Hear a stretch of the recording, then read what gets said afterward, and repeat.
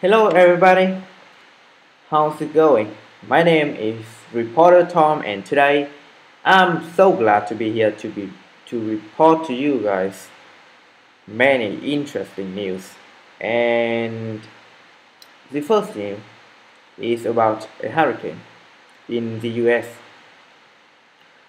This hurricane is called Maria and you guys have probably heard of this um, uh, disaster before so uh, I'm gonna get right into the details. Uh, so the hurricane Maria is quickly but surely marching towards the island of Puerto Rico and it's still strengthening as it is approaching. Okay so um, let's uh, let's be exact okay? Its maximum sustained winds skyrocketed from 90 mph to 110 mph and truly, in my opinion, is thus a very huge gap. It has been expected that it will land on the island at around 8 pm so the civilians on the island are evacuating at a really fast rate. Of course, they, um, they need to evacuate um, if they don't want to be wiped out okay so uh, okay in all seriousness they are praying that their gods will still be looking over them and wish them safety. The weather forecast feared that this storm will be very destructive to the city and it will result in many unpleasant consequences.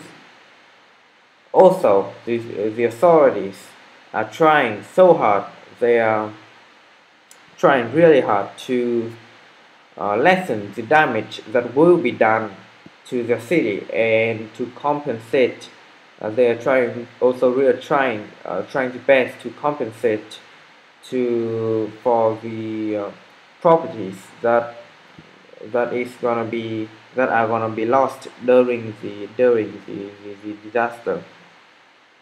Okay that's the end of the first news let's move on to the second one shall we uh, it's about a um, football player. He's very famous.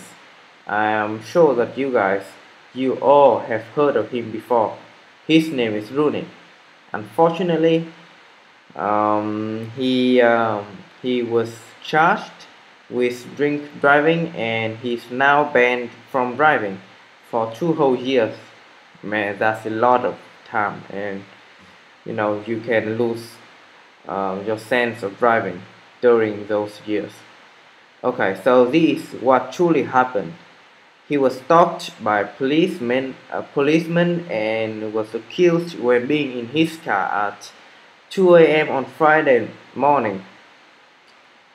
Okay, apart from that, he was also forced to do a hundred hours of unpaid labor work as a part of his punishment.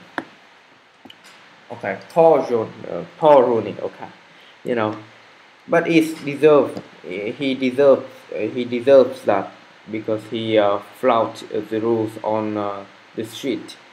So you know that is a really uh, good decisions from uh, the judge. okay, so um, that's the end of this video. I hope that you guys have enjoyed and of course if you have you should give me some uh, you know constructive suggestions or constructive comments so that I can improve my speaking skills. You know my speaking skills I mean are, are still uh, have still having a lot of flaws in it. So of course if you guys have enjoyed be sure to leave a quick comment down below stating my mistakes or, or my you know my flaws I would I will I would very appreciate those comments. And until next time I will see you guys again. Bye bye and peace